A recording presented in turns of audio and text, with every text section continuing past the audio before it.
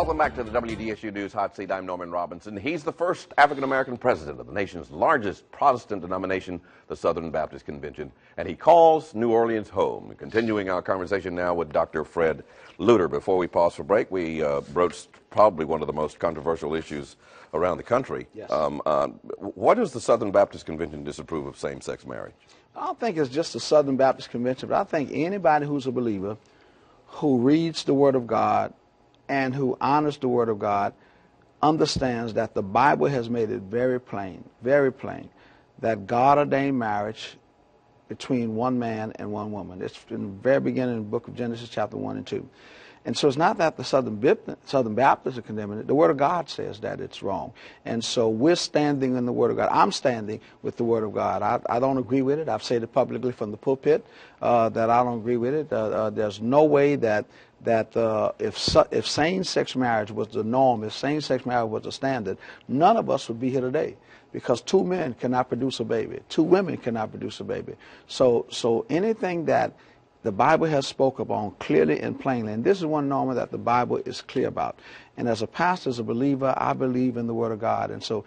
If God says that is wrong, is wrong. I tell our congregation that nothing can be politically right if it's morally wrong. Now, let me ask you this. Religion in America was once used to justify discrimination against Yes. blacks, as you know. Right. Uh, how is that different from discriminating against gays and lesbians? Well, I think the difference has to be, you know, all of us are created by God. And I think the difference is how we treat people. God expects us to love everybody uh, red, yellow, white, brown, blacks, Hispanics, Asians, gays, straight. He wants us to love everybody. Uh, however, God also wants us to stand up for things that are uh, biblically wrong. You, if you come to the church where I pastor, folk will tell you I preach against all kind of sin. I, I preach against adultery, against fornication. I, I, I tell guys to pick their pull their pants up, tell ladies to close their dresses up. Uh, I, you know, there's a standard that we need to have in America, and particularly in our homes and in our families. And so the difference is, Norman, in how we treat.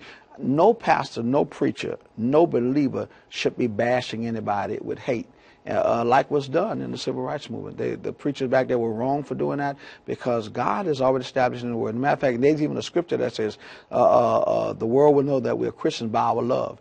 That's why we have to reach out and love so that people will have some type of sense that these people may not agree with my lifestyle, but they love me as a person. And I think that makes a difference. Where do you see the uh, the association or the convention headed under your leadership? Well, one of the ways I hope it's headed is just that if we can get on the same page as far as getting along. Uh, as you know, our history is born out of slavery, and so there's still some remnants of this convention, churches across America that still are struggling with that. One of the things I hope to establish that because I'm in this position now to let folk now that let folk know that we're all God's children, whatever, no matter the color, no matter the background. That's the first thing I hope to. do. Then secondly, I hope to get together with the different entity heads and to see what we can do because our baptism rates and our membership rates have been diminishing through the years.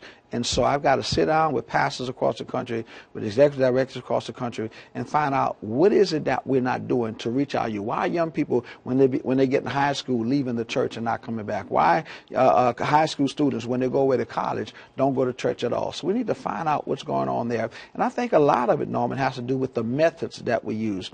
Again, I, I I tell people all the time, we don't have to change our message. Our message is, is should be in the Word of God, but our methods must change. I tell you, there's no way we can reach this iPhone, iPad, uh, generation with eight track ministry. We just can't do it. Uh, we got to change the methods to reach our young people today. And uh, that's the, the message I hope to bring, to bring us together as a convention on the race issue, but then also reach out and uh, particularly to our youth and young adults. Now, what is the the uh, the um, difference, or is there any difference between your election as the first African American president of the uh, Southern Baptist Convention and Barack Obama's election as the first African American president of the United States? I think the major difference is that he has, to, President Obama has a, a huge responsibility of being president of the entire country, of the entire country. My responsibility is just being president of those churches that's part of the Southern Baptist Convention. Another difference is uh, uh, our standard is the Word of God, is the Bible. And so when I make my decision, when I make my choices, I don't have to check with a special interest group and see whether or not what I say is politically right.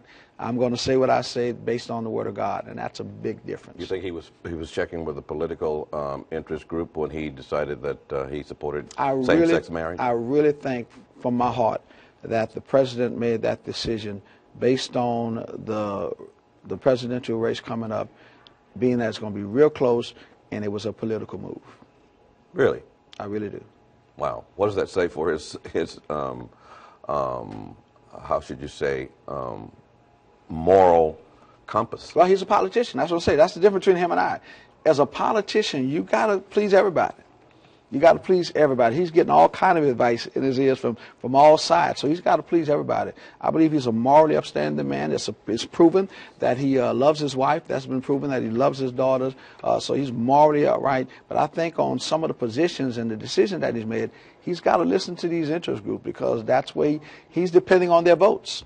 Uh, and that's the difference between his role and, and my rule. I don't have to listen to, I don't have to say what's politically right. I've just got to say what's biblically right and let the chips fall where they may. Dr. Michael Sandel, who uh, is a, a, prominent philosopher at the, uh, at the at Harvard University, wrote recently wrote a book about uh, the marketing of, of America, how democracy has ceased to be our, standard trademark, and, and now we're more into commercialism.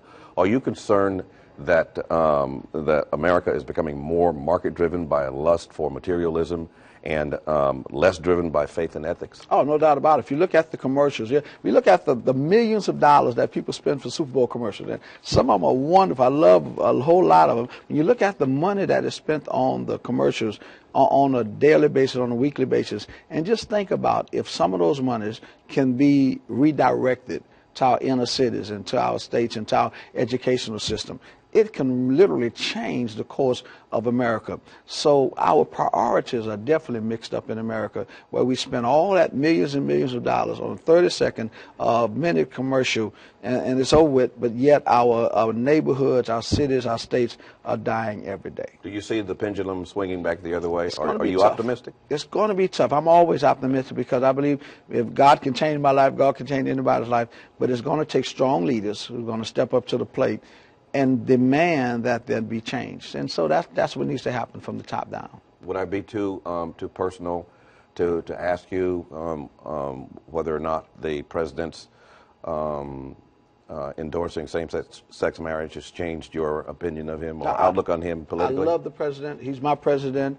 My wife and I pray for him every day. Our church staff pray, pray for him every day. I still support him as our president. It's just that on this issue, on same-sex marriage, I disagree with him. All right. Dr. Fred Luter, thank you for stopping by. It's been a pleasure. Thank you, Norman. I appreciate the opportunity. You're welcome. Uh, that's all the time we have. Thanks to my guest, Dr. Fred Luter, for being here again. And as always, thanks to you for watching. Now let's head back over to the news desk.